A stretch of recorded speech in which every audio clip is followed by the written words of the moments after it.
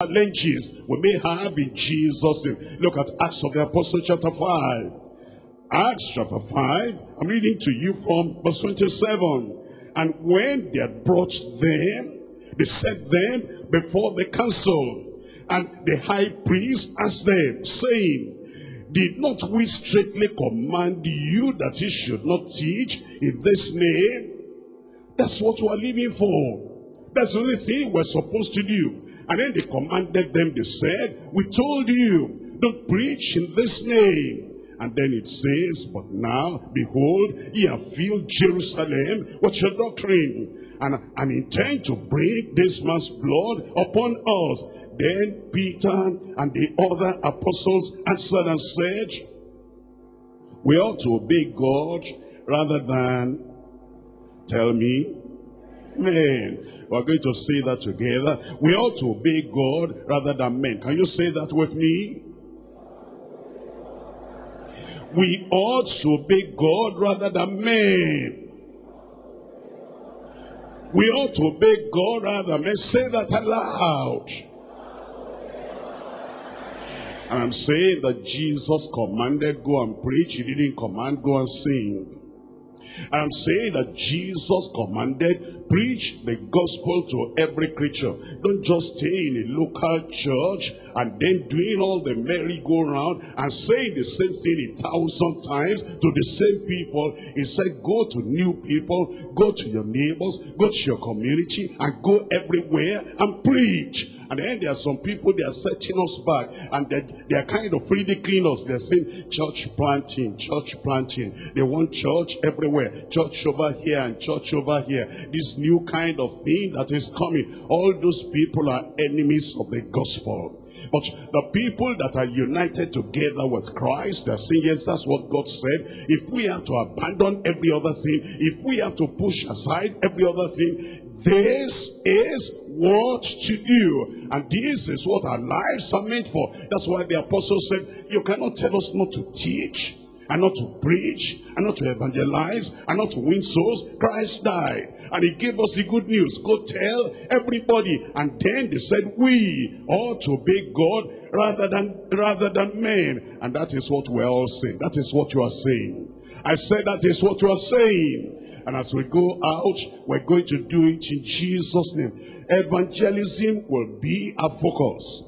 Reaching out to perishing souls will be our focus. That is what we gave our lives for. And that is what Christ has commanded us. We're going to do it in Jesus' name. And when we do it in the way he wants us to do it, and then we listen, emphasis on things that Christ has not commanded, and we exalt, we lift up what Jesus Christ has commanded. Exploits, supernatural power, miracles, signs and wonders will follow us in Jesus' name.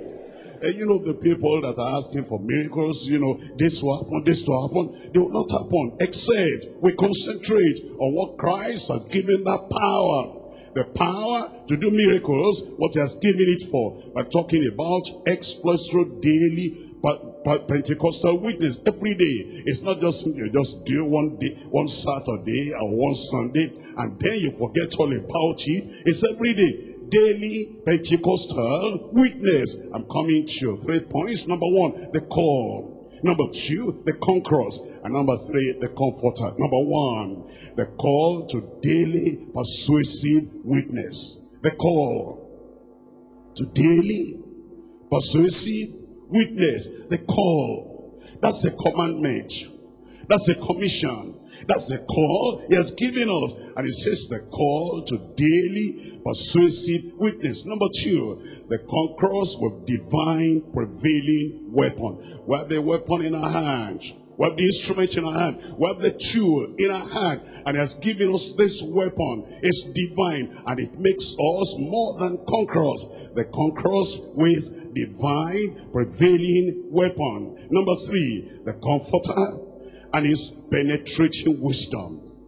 The comforter and the penetrating wisdom, the spirit, not the wisdom of man that cannot obey God, but the wisdom of the spirit himself, the comforter and his penetrating wisdom. Number one, the call to daily persuasive witness. We're looking at Acts chapter 1 again. Acts chapter 1. We're looking at verse 8. Acts chapter 1 verse 8. But ye shall receive power after that the Holy Ghost is come upon you, and ye shall be witnesses unto me. Witnesses not unto yourself, witnesses not unto your denomination, Witnesses not unto your friends. Witnesses not unto your personal opinion, but witnesses unto Christ. What does that mean? That Jesus Christ died on the cross of Calvary. That he died to save sinners. And that his will, his desire, his passion is to have the whole of the world to be saved. He is not willing that anybody should perish, but that all should come to repentance. Go and give a witness to that, that Jesus Christ so loved us, he died for the world, and give a witness to that, that God in heaven does not want to judge anyone to go to hell. He wants everybody to repent and to turn unto the Lord. Go and give a witness unto that, that there's no other name whereby we must be saved. It is only Jesus that brings the salvation. Go and bring a witness to that. It says, shall see power after that the Holy Ghost is come upon you, and then ye shall be witnesses unto me, both in Jerusalem, and in all Judea, and in Samaria, and unto the uttermost part of the earth. Look at that word both. It doesn't say first in Jerusalem. When you finish in Jerusalem, then go to Samaria, Judea. When you finish in Judea, then you go to Samaria. Then when you finish in Samaria, then the uttermost part of the earth, they are ready. No, it says he was telling not just one man, not just one man, he was telling every one of them. He said, you are going to receive the power. How many of them received the power on the day of Pentecost? How many people?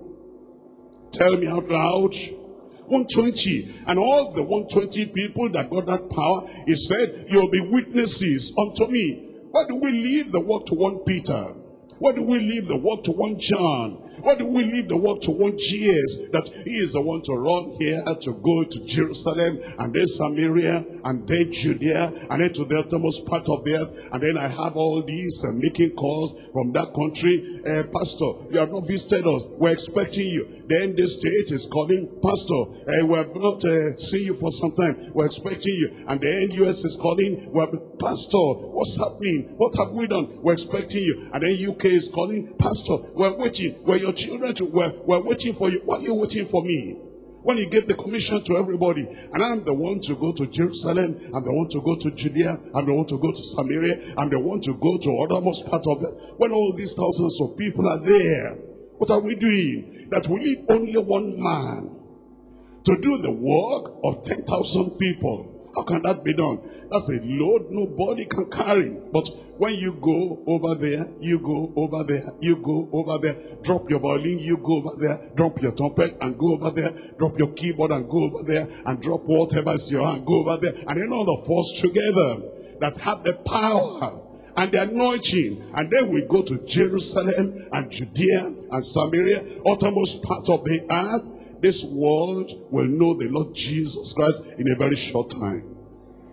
It will happen. I said it will happen. And that's the reason why the Lord is saying everybody should go. You know, sometimes when, when, you know, we make some alterations and some changes, there are some people that are sitting back there and uh, instead of praying for us that God will help us to do more of this, I told you recently, I said now. That you have been blessed with this powerful message. Our bottom, our address is at the bottom of the, uh, of the screen. I believe you will join us one of this Sunday to worship together. Thank you. God bless you. Let us pray. Our mighty Father, we glorify your name and thank you, Lord, because of this powerful message. I pray by the power and the blood of Jesus Christ, you will touch those people who are in need of salvation, those people who are in need of prosperity, those people who are in need of healing and the power by the power and the blood of Jesus Christ, they will give testimony because of this message. In Jesus' name we pray. You are,